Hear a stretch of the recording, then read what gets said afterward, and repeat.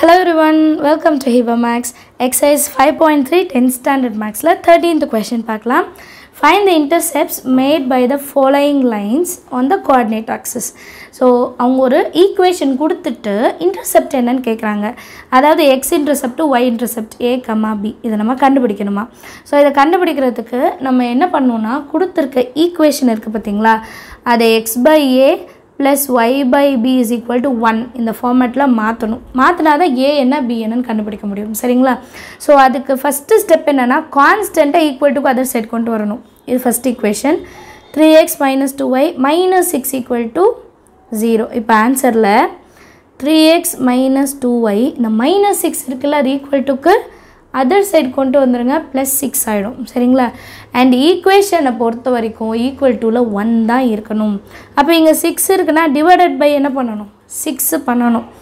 Three x by six minus two y by six equal to six by six புரியுதுங்களா?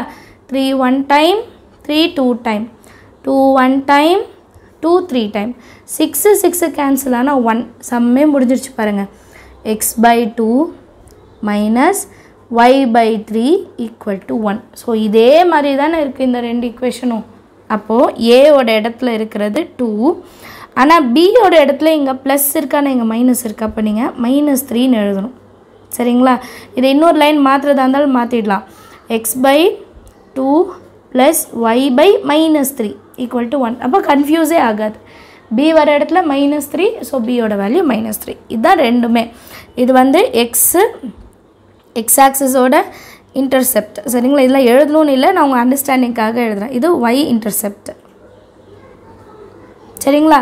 இவ்வளோதான் answer அடுத்த subdivision பார்க்க second subdivision பாருங்கள் four x plus three y plus twelve equal to zero so இந்த ஈக்குவேஷனை நம்ம என்ன ஃபார்மேட்டில் மாற்றணும் x by a plus y by b is equal to one சரியா?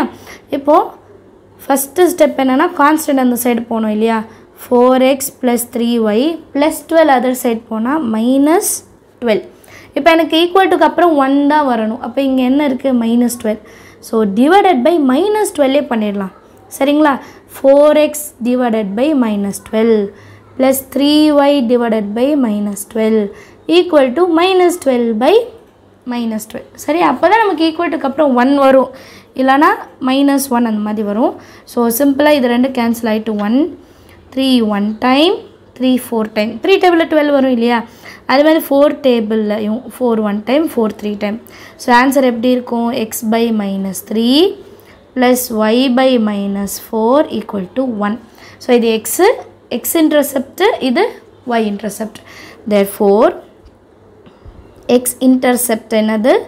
A that is equal to minus three அதே மாதிரி ஒய் இன்டர்செப்ட் என்னது? B b is equal to minus four ஈஸியாக ஆன்சர் கண்டுபிடிச்சிட்டோம். Thank you so much for வாட்சிங்